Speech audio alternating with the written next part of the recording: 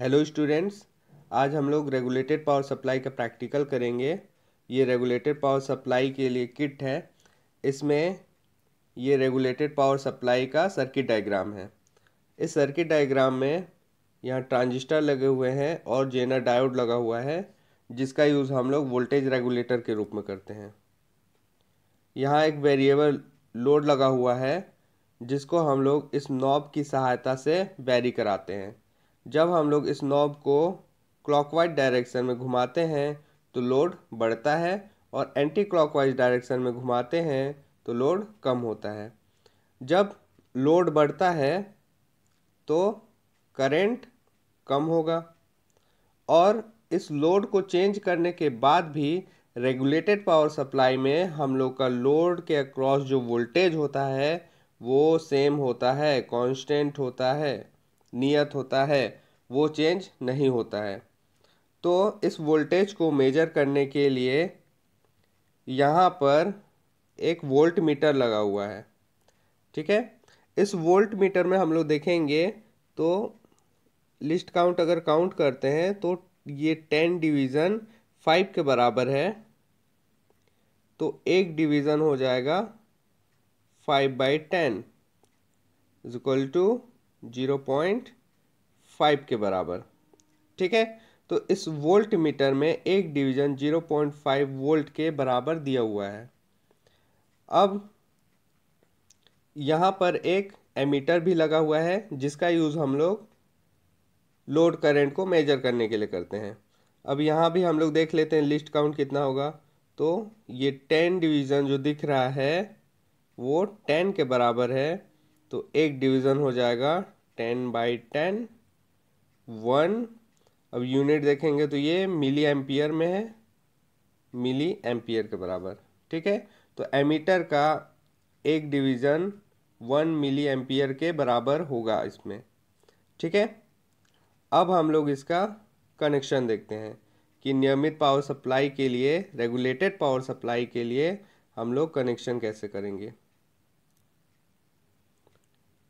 तो नियमित power supply या रेगुलेटेड पावर सप्लाई के लिए जब हम लोग वोल्ट मीटर के पॉजिटिव का कनेक्शन यहाँ पर देखोगे तो लोड के लोड के साइड में यहाँ पे वी लिखा हुआ है, जहाँ पे ऊपर साइड वाला प्लस लिखा हुआ है।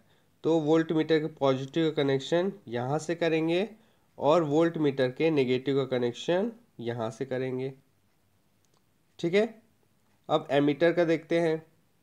तो एमीटर के पॉजिटिव का कनेक्शन यहाँ से करेंगे और एमीटर के नेगेटिव का कनेक्शन यहाँ से करेंगे। और बीच में ये जो डिसकनेक्टेड दिख रहा है, इसको हम लोग कनेक्ट कर देंगे। ठीक है? तो हम लोग कनेक्शन कर लेते हैं।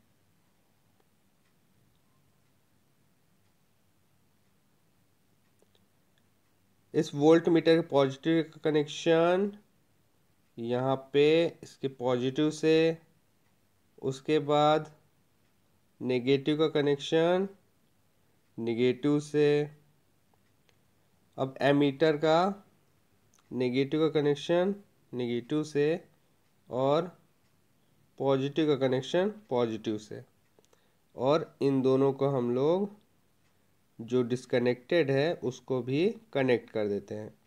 तो इस तरह से रेगुलेटेड पावर सप्लाई के लिए कनेक्शन हो चुका है।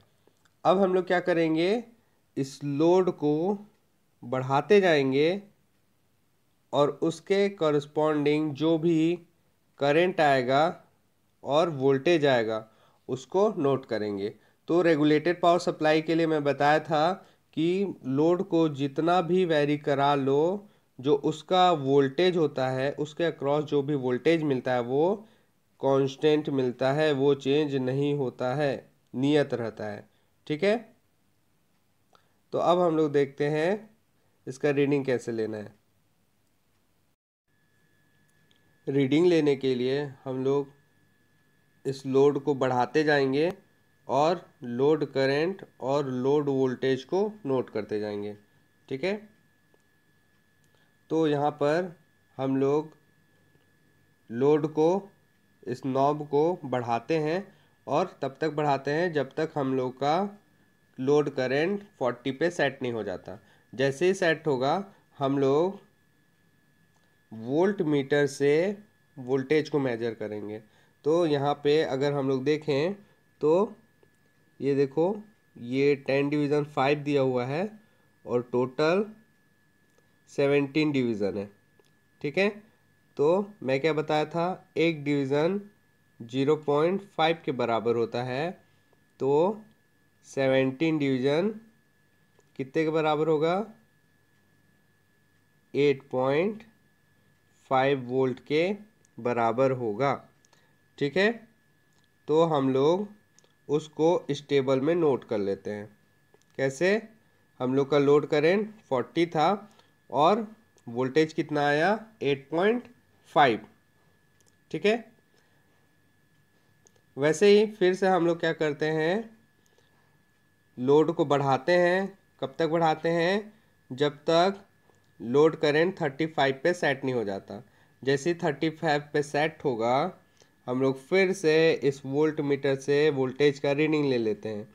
तो यहाँ पर देखेंगे तो अभी कितने डिवीज़न पे है? अभी भी सेवेंटीन डिवीज़न पे है। तो seventeen into point five eight point five volt ठीक है?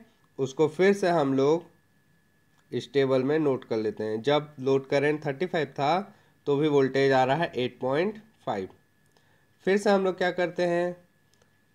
इस लोड को बढ़ाते हैं और लोड को बढ़ाकर लोड करंट को हम लोग थर्टी पे सेट करते हैं।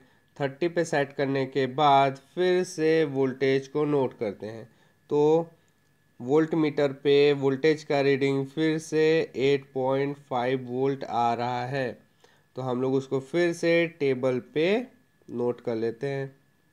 फिर क्या करेंगे? सेम प्रोसीजर फिर से इस लोड को, इस नॉब को फिर से इतना बढ़ाएँगे कि एमीटर का रीडिंग 25 पे सेट हो जाए। ठीक है? फिर से हम लोग वोल्ट मीटर का रीडिंग लेंगे और वोल्ट मीटर का रीडिंग अभी भी 8.5 वोल्ट आ रहा है। ठीक है? फिर से हम लोग क्या करेंगे? लोड को फिर बढ़ाएँगे, जब तक कि हम लोग का लोड करेंट ट्वेंटी पे सेट नहीं हो जाता। और जैसे ही ट्वेंटी पे सेट होगा, हम लोग वोल्ट मीटर का रीडिंग ले ले लेंगे तो अभी भी वोल्ट मीटर का रीडिंग 8.5 वोल्ट आ रहा है। फिर हम लोग क्या करेंगे? फिर से नॉब को बढ़ाएँगे। बढ़ाने के बाद कब तक बढ़ाएँगे? जब तक लोड करेंट 15 पे सेट नहीं हो जाता। जैसे 15 पे सेट होगा, हम लोग वोल्ट मीटर से वोल्टेज मेजर कर लेंगे। तो अभी भी 8.5 वोल्ट ही आ रहा है। ठीक है? फिर से क्या करेंगे? फिर बढ़ाएँगे नॉब को, फिर 10 पे सेट करेंगे लोड करंट को और वोल्टेज को नोट करेंगे। अभी भी 8.5 वोल्ट ही आ रहा है। तो मैं क्या बताया था? हम लोग लोड को कितना भी बढ़ा लें, हम लोग का जो लोड के अक्रॉस वोल्टेज होता है, वो कांस्टेंट रहता है। चेंज नहीं होता है। ठीक है? तो अब हम लोग लोड करंट और लोड वोल्टेज के बीच में ग्राफ ड्रॉ करते हैं। तो इसके लिए एक्स एक्सिस पर हम लोग लोड करंट लेते हैं। ये हम लोग का एक्स एक्सिस है। एक्स एक्सिस पर लोड करंट लेते हैं। लोड करेंट मिली एम्पियर में है ये। ठीक है? और वाई एक्सिस पर वोल्टेज लेते हैं। ये हम लोग का वाई एक्सिस हो गया। इसमें वोल्टेज लेते हैं।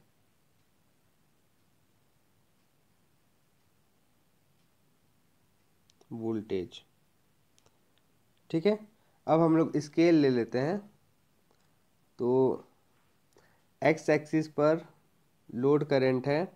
तो लोड करंट के लिए हम लोग मान लो एक box one box equal to ten ले लेते हैं। टेन मिली एम्पियर ले लेते हैं। Scale X axis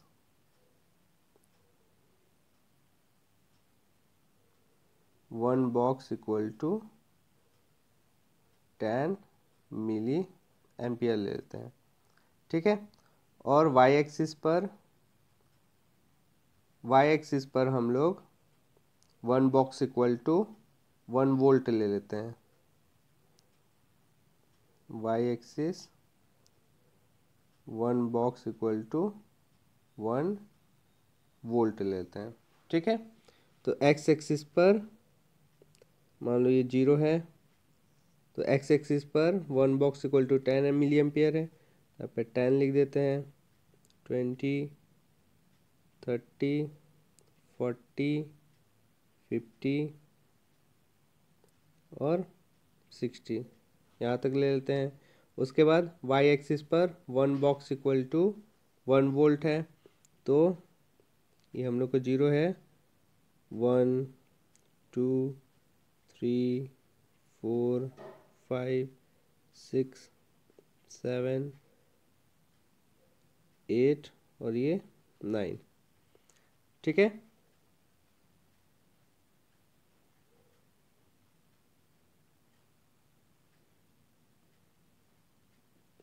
तो अब देखो, लोड करंट 10 मिली एम्पियर के लिए वोल्टेज कितना दिया हुआ है? 8.5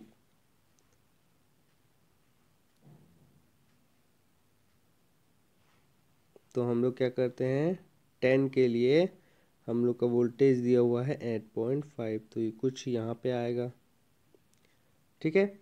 उसके बाद 15 के लिए 8.5 तो ये हम लोग को 15 का लाइन है।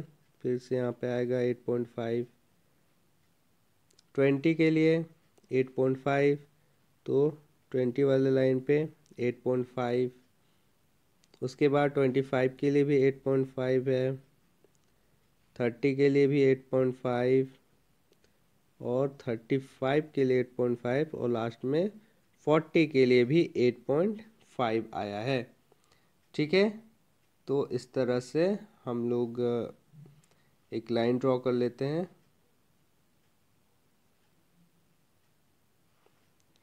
यहाँ पर ये हम लोग का कर्व आया, ठीक है? जो कि एक कांस्टेंट लाइन है। किसके लिए? रेगुलेटेड पावर सप्लाई के लिए। अब हम लोग नेक्स्ट देखेंगे अनरेगुलेटेड पावर सप्लाई के लिए। अनियमित पावर सप्लाई के लिए, ठीक है? तो किट सेम रहेगा। हम लोग को इसमें चेंज कहाँ पे करना है? तो चेंज करने के लिए ये जो कनेक्शन है, जो कि हम लोग रेगुलेटेड पावर सप्लाई में कनेक्ट कर दिए थे, इसको हम लोग को हटा देना है रिमूव कर देना है।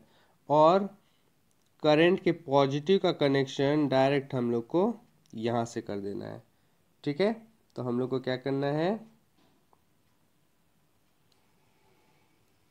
हम लोग को इस करंट मीटर के पॉजिटिव कनेक्शन यहाँ से कर देना है और नेगेटिव कनेक्शन यहाँ से था। वोल्ट मीटर के पॉजिटिव कनेक्शन यहाँ से नेगेटिव का कनेक्शन यहाँ से था। ठीक है? तो हम लोग के अनरेगुलेटेड पावर सप्लाई के लिए कनेक्शन हो चुका है। अब हम लोग रीडिंग कैसे लेंगे? फिर से वैसे ही सेम लेंगे। हम लोग वोल्टे लोड को बढ़ाते जाएँगे, करंट को नोट करेंगे और वोल्टेज को नोट करेंगे। तो ये अनरेगुलेटेड पावर सप्लाई है। मतलब अनियमित पावर सप्लाई है। इसमें जैसे जैसे हम लोग लोड को बढ़ाते हैं, हम लोग का वोल्टेज भी धीरे धीरे बढ़ते जाता है। ठीक है? तो इसको हम लोग नोट करेंगे एक टेबल में। अब देखते हैं रीडिंग कैसे लेना है।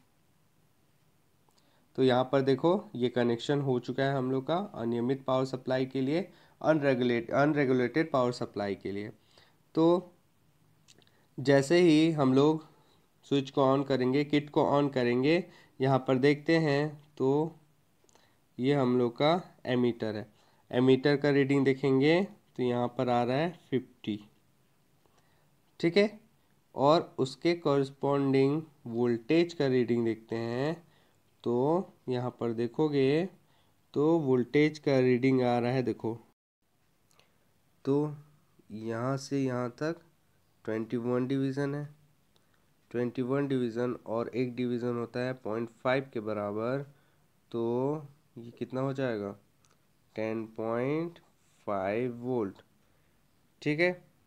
तो इसको हम लोग टेबल में नोट कर लेते हैं। तो करंट कितना था? फिफ्टी मिली एम्पियर और voltage ten point five volt, ठीक है? फिर हम लोग क्या करेंगे? फिर से लोड को बढ़ाएँगे इस नॉब को क्लॉकवाइज डायरेक्शन में घुमाकर, ठीक है? उसके बाद लोड करंट को हम लोग, जैसे फोर्टी पे आता है, हम लोग वोल्टेज को वोल्ट मीटर से नोट कर लेते हैं। तो यहाँ पर देखोगे वोल्ट मीटर में तो यहाँ से यहाँ तक, देखो कितना डिवीज़न है। यहाँ तक ट्वेंटी, उसके बाद twenty one, twenty two division है। और पॉइंट फाइव से मल्टीप्लाई करोगे तो कितना आएगा? इलेवन, ठीक है? Eleven volt. तो इसको हम लोग टेबल में नोट कर लेते हैं। फिर से लोड करंट क्या है इसमें? फोर्टी मिली एम्पियर और वोल्टेज हम लोग का आ गया इलेवन वोल्ट, ठीक है? फिर से हम लोग लोड को बढ़ाएँगे, करंट को थर्टी मिली एम्पियर तक लाएँगे, उसके बाद वोल्टेज को नोट करेंगे। तो अभी आ रहा है इलेवन पॉइंट फाइव वोल्ट, ठीक है? फिर हम लोग नॉब को बढ़ाएँगे, लोड को बढ़ाएँगे, करंट को ट्वेंटी पे सेट करेंगे और वोल्टेज को नोट करेंगे। तो यहाँ पर अगर देखें तो देखो कितना डिवीज़न आ रहा है यहाँ से यहाँ तक। तो वन, टू, थ्री ऐसे करके यहाँ तक आ रहा है ट्वेंटी और उसके बाद twenty one, twenty two, twenty three, twenty four आ रहा है। ठीक है? ट्वेंटी फोर आ रहा है। इसको पॉइंट फाइव से मल्टीप्लाई करेंगे तो आएगा ट्वेल्व वोल्ट, ठीक है? इसको हम लोग टेबल में नोट करेंगे। तो लोड करंट अभी है ट्वेंटी और वोल्टेज आया ट्वेल्व वोल्ट। फिर से हम लोग नॉब को, लोड को बढ़ाएँगे। लोड करंट को टेन पे फिक्स करेंगे और वोल्टेज को मेजर करेंगे। तो अभी हम लोग का वोल्टेज आ रहा है ट्वेल्व पॉइंट फाइव वोल्ट ठीक है? अब हम लोग ग्राफ ड्रॉ करेंगे लोड करंट और वोल्टेज के बीच में। तो हम लोग एक्स एक्सिस पर लोड करंट को लेते हैं। ये हम लोग का एक्स एक्सिस है, यहाँ पे लोड करंट को लेते हैं।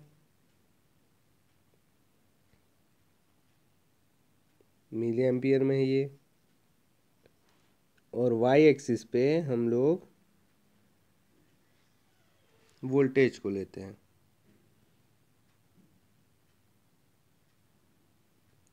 ठीक है? अब स्केल लेंगे।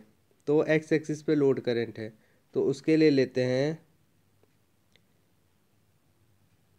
एक्स एक्सिस पे one box equal to ten milli ampere लेते हैं। ठीक है? और वाई एक्सिस पे one box equal to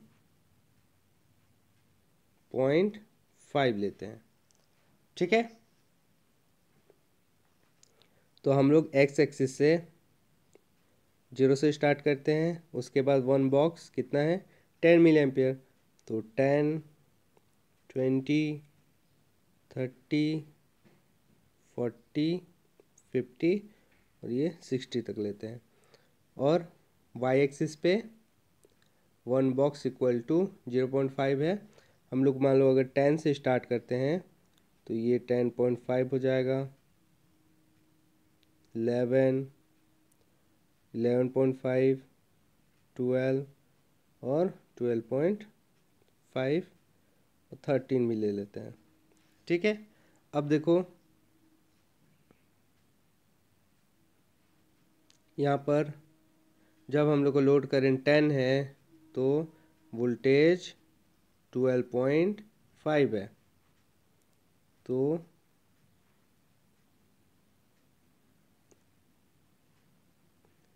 load current जब हम लोग का टेन है तो वोल्टेज ट्वेल्व पॉइंट फाइव है। यहाँ पे आएगा।